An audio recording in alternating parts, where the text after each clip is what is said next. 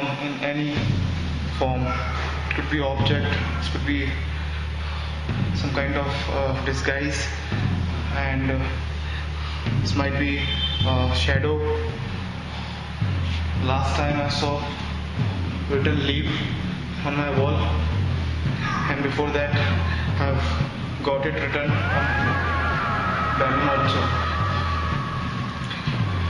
Hey.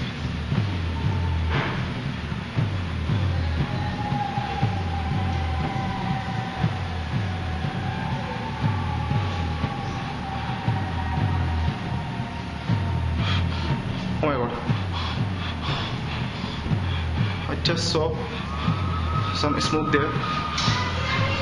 I will studied that. If you smell fire and if you see smoke, this might be symptom of ghost also.